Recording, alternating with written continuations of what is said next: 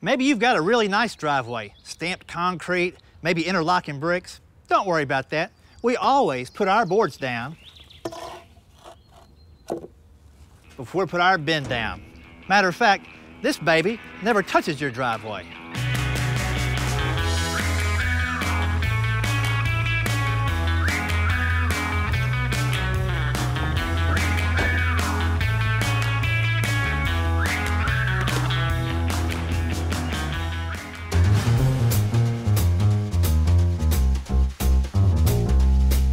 Find your local Bin There Dump That, go to BinThereDumpThatUSA.com. Bin There Dump That. We're the residential friendly dumpster company.